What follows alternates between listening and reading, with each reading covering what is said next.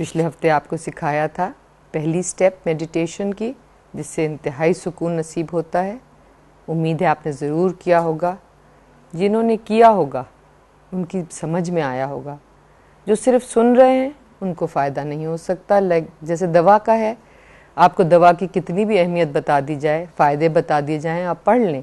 جتنی بھی ڈیٹیل پڑھ لیں، جب تک دوا کھائیں گے، نہیں، فائدہ نہیں ہوگا۔ اسی طرح اس ذکر اللہ کا اس میڈیٹیشن کا، جو اپنائے گا، جو پریکٹس میں لائے گا، جو اس کو صبح شام کرے گا، وہ فائدہ پائے گا۔ اور اس کو پھر کچھ بتانے کی ضرورت نہیں ہے، اس کو محسوس ہو جائے گا۔ جو میں آگے بات کو لے کے چلوں، اب ہم نے کہا تھا کہ ہمارے اندر ایک روح ہے۔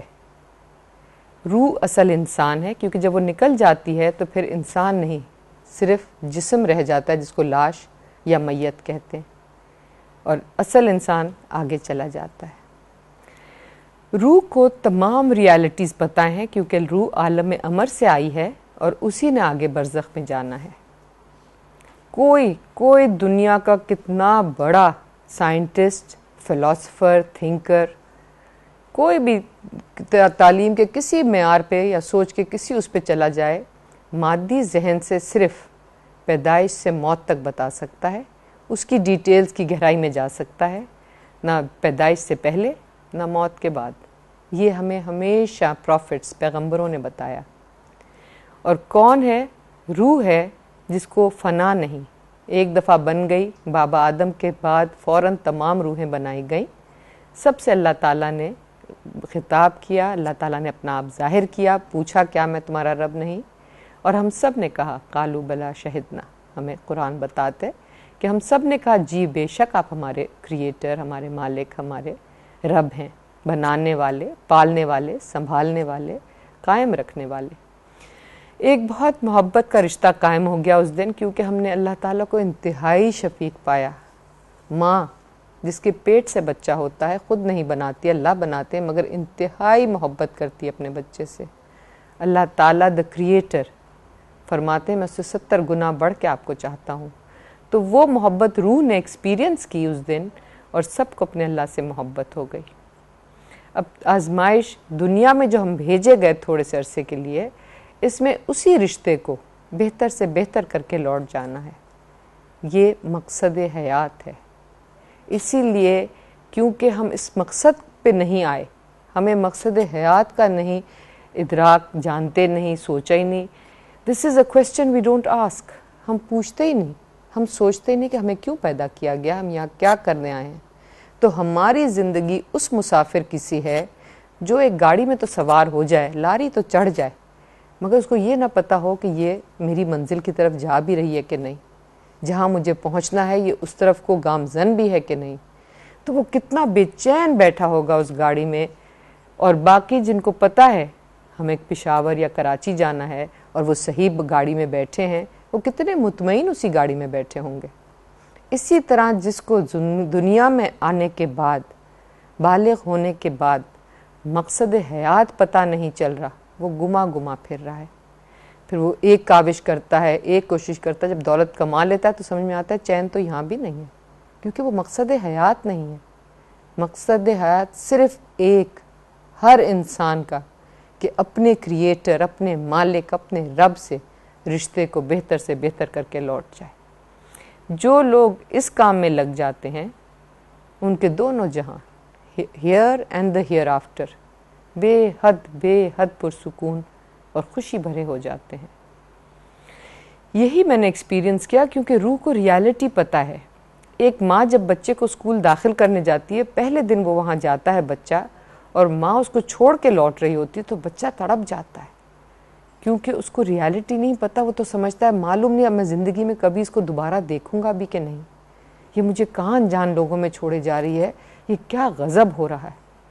اور ماں کتنی مطمئن چھوڑ کے چلی جاتی ہے؟ کیونکہ اس کو حقیقت معلوم ہے کہ میں چند گھنٹے بعد لوٹ کے آ کے اس کو لے جاؤں گی۔ اسی طرح زندگی کی حقیقت روح پہ آیا ہے، روح جانتی ہے it knows why we've come where we've come from اور ہم نے کہاں جانا ہے۔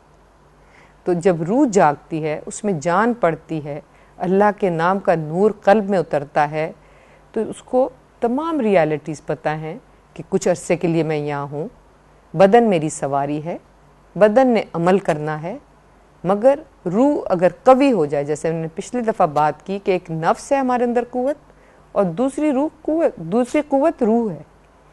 روح جب حاوی ہوتی ہے اصل انسان جب حاوی ہوتا ہے، اشرف المخلوقات کے لیول پہ آتا ہے، تو اس کو بالکل پتہ ہوتا ہے کہ مجھے کیا کرنا ہے، کیا نہیں کرنا۔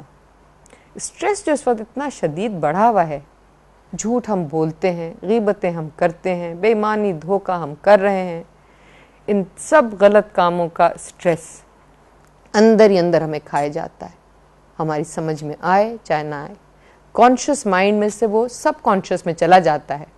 ہر غلط عمل، ہر اچھا عمل سب کانشیس میں رہتا ہے۔ اس کے اثرات ہماری ظاہری زندگی اور سوچ پہ آتے ہیں۔ جب روح میں قوت آتی ہے تو جھوٹ بولنا چھٹ جاتا ہے، غیبت چھٹ جاتی ہے۔ اس کو سمجھ میں آ جاتا ہے، یہ کوئی فائدہ ہی نہیں ہے ان کاموں کا۔ مجھے جھوٹ بولنے کی ضرورت ہی نہیں محسوس ہوتی کیونکہ وہ اتنی اسٹرانگ اور قوی محسوس کرتی ہے۔ کسی بندے کا خوف نہیں رہتا۔ کسی بندے کی کوئی اہمیت نہیں رہتی کیونکہ ہے نہیں۔ There is only one creator the all powerful تمام قوت اللہ کے پاس ہے۔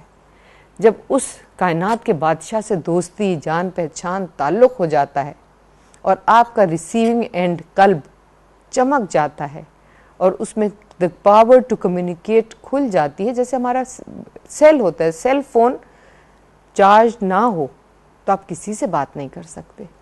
اور چارج کر لیں تو آپ ہر ایک سے بات کر سکتے اسی طرح اللہ تعالیٰ سے بات کرنے کے لیے، اللہ کی بات سننے کے لیے قلب میں جان پڑنا ضروری ہے۔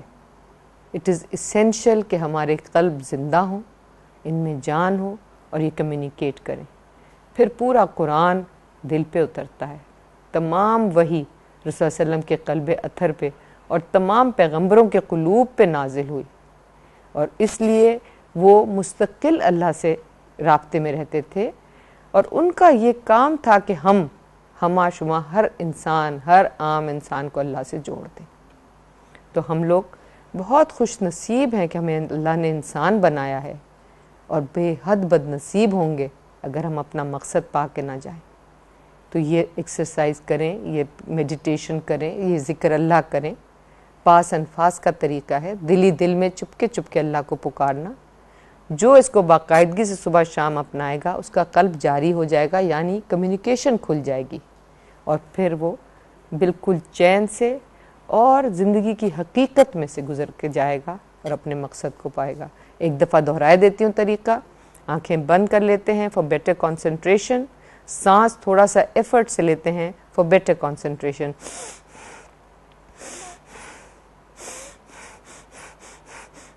یہ اس کی ظاہری شکل ہے۔ اور دل میں خیالات کو پکڑنے کے لیے فوکس کے لیے اپنے فزیکل ہارٹ پہ فوکس لے جائیں۔ ہر داخل ہونے والی ساتھ انہیل جب کریں تو لفظ اللہ دل کی گہرائی میں اتر جائے۔ اور جب ایگزیل کریں ہر خارج ہونے والی سانس کے ساتھ لفظ ہو، باہر سے دل پہ جیسے چوٹ مارتے ہیں رگڑتے ہیں، چمکاتے ہیں، اس طرح کا ایک سائیکل اپنے خیالات میں بنا لیں تاکہ خیالات ادھر ادھر نہ بھٹکیں۔ تھوڑی دیر، پانچ، دس، جتنی دیر، پندرہ منٹ جو آپ آرام سے کر سکتے ہیں، کوئی پابندی نہیں ہے، ضرور کریں اور انشاءاللہ پھر اس کا پھل پائیں گے اور چین سے ہو جائیں گے۔ اللہ حافظ۔